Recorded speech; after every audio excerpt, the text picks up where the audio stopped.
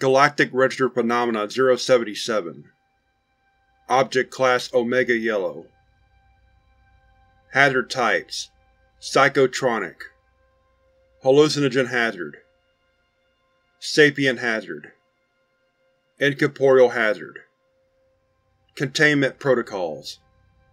Higher order effects of GRP-077 are mostly self-containing due to current technological limitations. Lower order effects of GRP-077 are to be combated via psychological resistance training.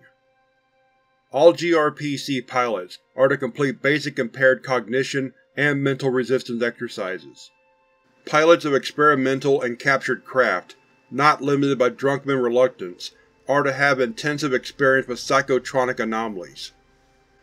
Description: GRP-077, more commonly known as pilot sickness or void mirage, is a progressively worsening anomalous effect, observed by both probes and manned vessels, traveling at superluminal velocities of 100 c and above. Its manifestations occur in stages that correspond to orders of magnitude in the ship's velocity. Stage, Range, Effects Stage 1 100 to 1000 c Auditory hallucinations of animal noises 30 dB range Intervals from 33 to 2 minutes. Frequency of hallucinations increases with velocity Distant and searching Minor digital interference. Stage 2 1000 to 10,000 c. Increased auditory hallucinations Early visual hallucinations 60 dB range Close and angry. Introduction of ambient hallucinatory sounds beating heart, hearts wind, echoing darkening of lights and darting shadows at edges of vision. Computers receive false malfunction reports. Stage 3 10,000 to 100,000 c No consistent patterns full auditory and visual hallucination, non-responsive voices.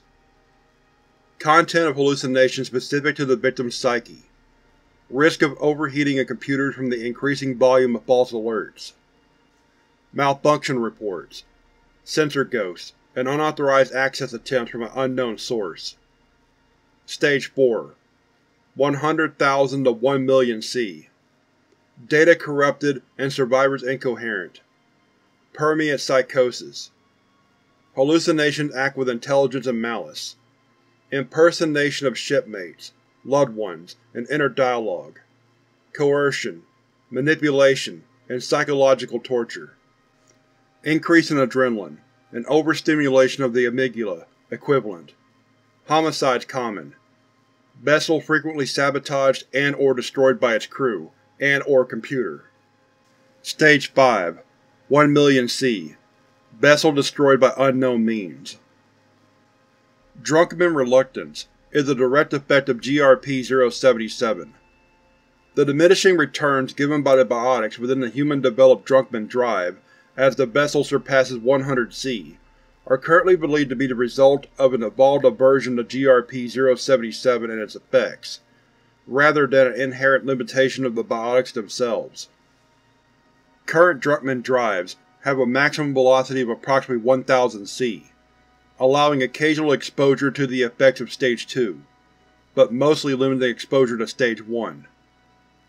It is unknown precisely what effects GRP-077 has on Drunkman biotics that prompted the evolution of Drunkman reluctance. However, testing of Drunkman biotics, forcibly accelerated past this self-imposed limit by captured alien drives, has shown that past 10,000 C, the diminishing Drunkman field will reverse polarity and begin fighting against the alien propulsion device. Discovery GRP-077 was formally discovered in 1991 when early Drunkman drive technology surpassed the 100 C threshold for the first time. However, the existence of an anomaly similar to GRP-077 was speculated over a decade earlier in 1977. Attached below is the transcript of a lecture given at the University of Sol on the topic of reverse engineering extraterrestrial FTL technology. Hello everyone, thank you for coming. I know the title of this lecture must have sounded rather strange, and half of you are probably expecting me to put on a tinfoil hat at any moment. Polite laughter.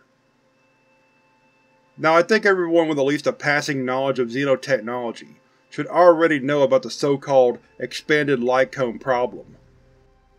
But there are students from our slightly less than prestigious rivals in the Oort cloud with us here today, so I'll be explaining it again. Mixture of laughter and mock jeers from the audience. Since the loss of Earth, we've come to know our galactic neighbors quite a bit better than we might otherwise like to, especially the Solosa. I think we can all be thankful they never thought to read the English name we gave them backwards. And one of the most obvious things about these various alien races we've encountered is their ships. Specifically their ship's ability to travel faster than light, something that has allowed them to enter and leave our solar system while we remain more or less confined within it. Finding a way to breach the light barrier ourselves is one of the most pressing scientific endeavors of our time, ranking in importance only just below the problems of space habitation and survival. The most expedient way to do this, of course, is to steal it from our neighbors. Many of us xenotechnologists have enjoyed quite sizable grants for research projects, studying alien ship movements to glean some small piece of information from them as to just how it is they are able to break the light speed barrier. And from this emerging field of study has risen the simple, yet vexing question. Why is there no time travel? Similar to the Fermi paradox of pre-Embers Day astronomy, the expanded light problem is the seeming contradiction between the facts that FTL travel exists, and yet time travel does not despite the fact that the two technologies, according to general relativity, should be one and the same. Various solutions have been proposed.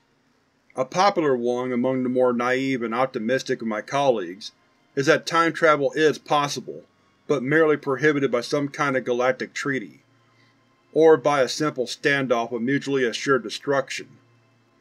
Now I can see the look some of you are giving me recalling the idea the galaxy might be in a MAD stalemate, naive and optimistic. It is, because if the galaxy were in such a standoff, it would never have lasted this long. MAD is not stable, especially not when it can be broken by any idiot with an FTL-capable ship. Galactic civilization is simply not capable of self-such restraint.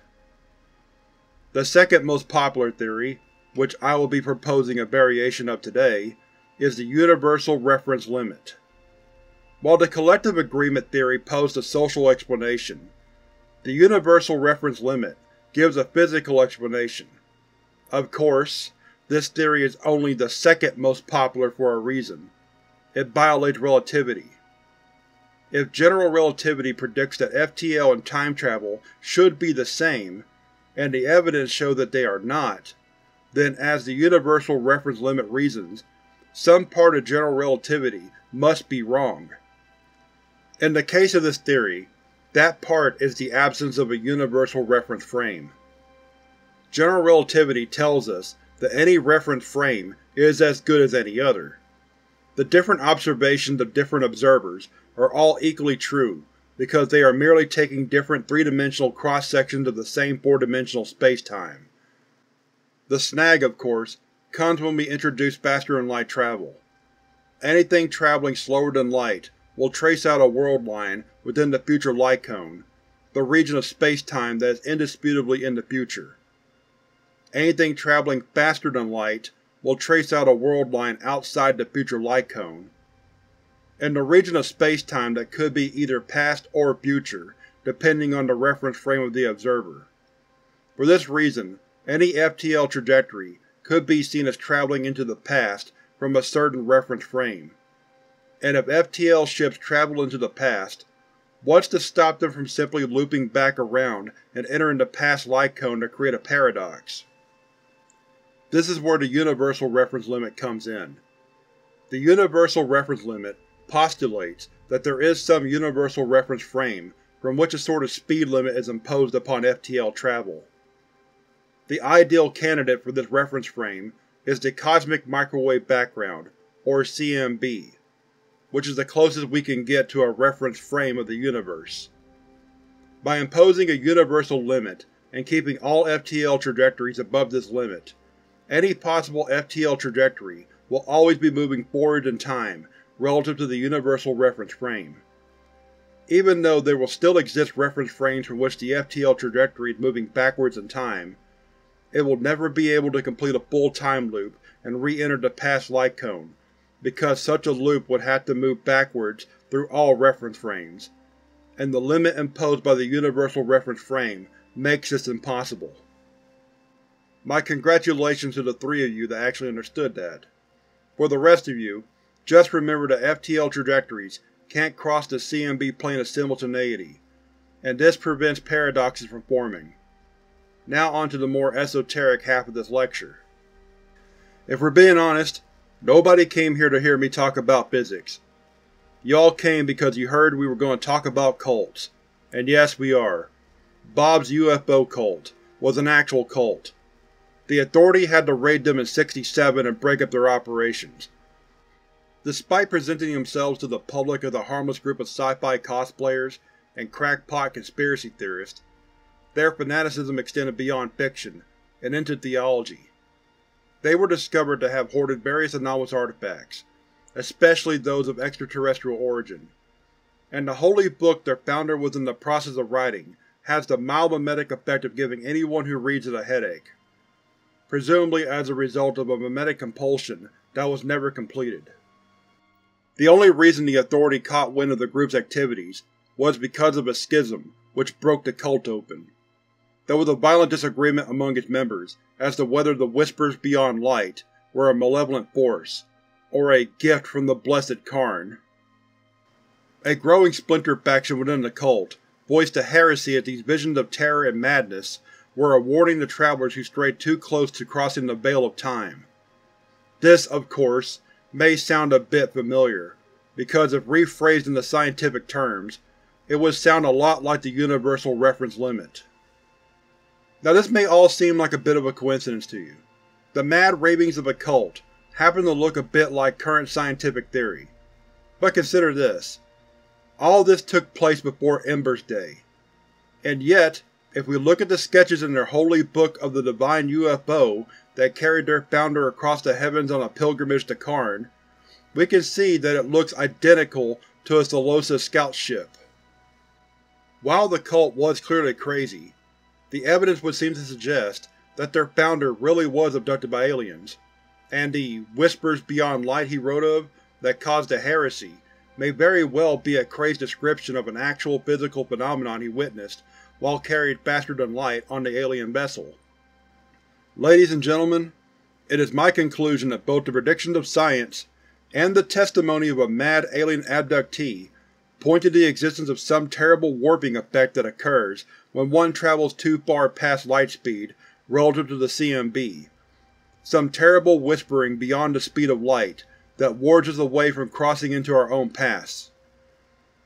And that is my tinfoil hat conspiracy theory. I look forward to being fired.